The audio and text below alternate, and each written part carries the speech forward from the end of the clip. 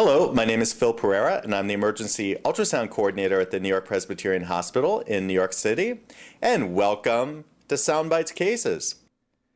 In this module entitled Part 2 of the right upper quadrant view of the trauma FAST exam, we're going to focus entirely on positive findings from this view. Hopefully you've had a chance to join me prior for Part 1 of the right upper quadrant view of the trauma FAST exam, where we focused entirely on normal findings from the right upper quadrant and hopefully have a chance to join me back as we go through the left upper quadrant and suprapubic views of the Trauma FAST exam. So let's begin this module by going through a review of how to perform the right upper quadrant view of the Trauma FAST exam. Remember that the probe is positioned in the long axis configuration with the marker dot superiorly, and that we're going to place the probe in between the ribs at about the anterior axillary line.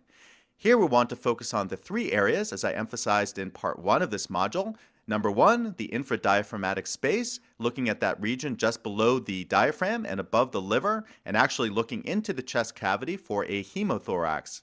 Position 2, which is the traditional Morison's pouch or hepatorenal interface, and position 3 to round out the exam, looking at the caudal liver tip representing the beginning of the right paracolic gutter.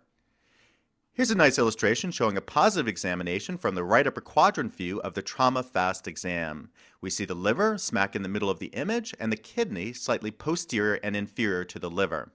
Let's look at the preferential deposition of fluid as shown here in the orange color, and we see that it layers out predominantly around the caudal tip of the liver as shown towards the inferior edge of the image here. Notice that it flows from the caudal tip of the liver into that potential space which is Morison's pouch in between the liver and the kidney. Now this is very important to emphasize as many times fresh fluid can only be seen around that caudal tip of the liver and then it will move into that hepatorenal interface or Morison's pouch. Here's a positive ultrasound examination from a patient who was hit by a car while crossing the street. And we see here the liver smack in the middle of the image here. Notice the kidney located inferior and posterior to the liver. And in between the liver and the kidney in that potential space known as Morison's pouch, we see a dark or anechoic fluid collection. Not insignificant, actually a pretty large stripe in this patient. This represents the positive examination or the presence of fresh fluid, in this case blood, within Morison's pouch. And notice that it layers out in between that liver and kidney. To emphasize the point that a complete right upper quadrant view includes looking at the caudal tip of the liver, let's examine this video clip from another trauma patient. If we look at the hepatorenal interface there, we fail to see the presence of any fluid, but as we move the probe inferiorly, we see that the caudal tip of the liver as shown right there is well outlined by fluid. And here we see the inferior pole of the kidney, the caudal tip of the liver extending above the kidney, and notice all the fresh fluid, both anterior and posterior to the caudal tip of the liver, making the point that this is a very important area to look for in the right upper quadrant exam. Here's a video clip from a patient who was stabbed with a really big knife to the epigastric region.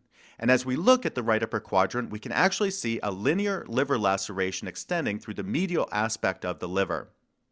We also appreciate the presence of a large amount of fresh fluid, that dark or anechoic fluid collection, layering out posteriorly there to the liver and extending into Morison's pouch, the hepatorenal interface. So as this patient had unstable hemodynamics, the next move was to package for the operating room. And here we can actually see the caudal tip of the liver waving around in all the fresh fluid, in this case blood and I obtain this view by moving the probe one intercostal space inferior from the last view to well delineate that caudal tip of the liver, which we can see here moving around in all the fresh fluid. In the last few video clips, the appearance of fresh fluid on bedside sonography was dark or anechoic. However, as blood clots, it can take on a more echogenic or lighter appearance.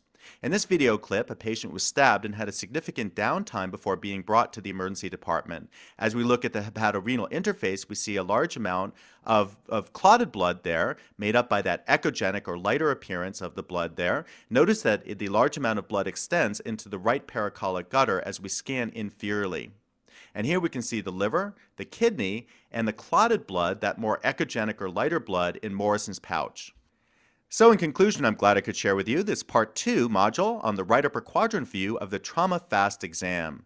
I hope now you have a better understanding on how to perform a complete exam looking into the three areas as we discussed, infradiaphragmatic, Morison's pouch, and inferior tip of the liver. And hopefully now you'll be able to discern the presence of fresh blood versus clotted blood on bedside sonography. So I hope to see you back as SonoAccess continues and as we move further through the other views of the Trauma FAST exam.